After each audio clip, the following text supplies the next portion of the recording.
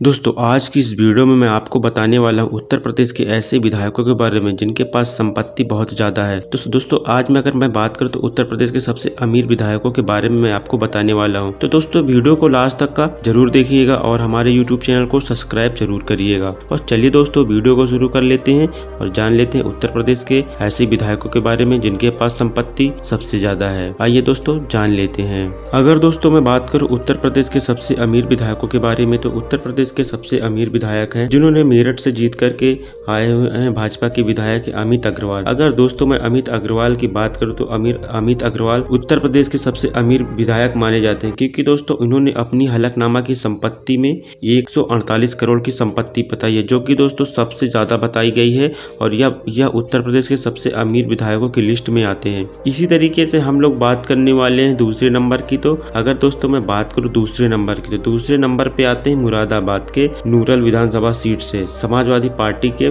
मोहम्मद नासिर। दोस्तों, अगर मैं मोहम्मद नासिर की बात करूँ तो उन्होंने हलकनामा में अपना बताया है साठ करोड़ रुपए की उन्होंने धनराशि की बात की, उसमें धन, अचल संपत्ति और चल संपत्ति दोनों शामिल होती है। तो दोस्तों, ये दूसरे नंबर पे आते हैं उत्तर प्रदेश के सबसे अमीर विधायकों के में। और इसी तरीके से अगर हम लोग बात करें तीसरे नंबर की तो तीसरे नंबर पे आता है जलालपुर विधानसभा सीट से सपा विधायक राकेश पांडे। दोस्तों, अगर मैं राकेश पांडे की बात करूँ तो इन्होंने अपनी संपत्ति में उनसठ करोड़ रुपए अचल और चल संपत्ति के बारे में बताया है। तो दोस्तों, इन में तीन विधायकों के बारे में बताया गया कि तीन विधायक सबसे अमीर और सबसे गरीब कौन से तो मैं आपको आगे बता देता हूँ कि सबसे गरीब विधायक कौन है। तो अगर दोस्तों मैं बात करूँ सबसे गरीब विधायकों में तो सबसे गरीब विधायकों में उन्होंने बताया है चित्रकूट के अनिल कुमार। अगर दोस्तों मैं चित्रकूट के अनिल कुमार की बात करूँ तो चित्रकूट के अनिल कुमार प्रॉपर्टी में सबसे कम में बताया है। इन, इनकी संपत्ति की अगर हम लोग बात करें तो तीन लाख चौसठ हज़ार नौ सौ छियालीस रूपए बताई गई है। दोस्तों इन्होंने हलकनामा में तीन लाख चौसठ हज़ार रूपए बताया है।